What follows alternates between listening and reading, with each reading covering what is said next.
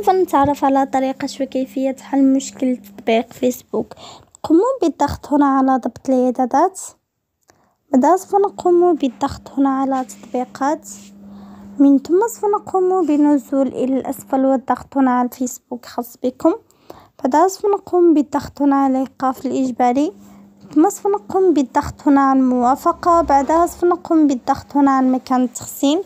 من ثم سوف نقوم بالضغط هنا على مسح تخزين مؤقت وبهذه الطريقة نكون قد قمنا بحل المشكلة.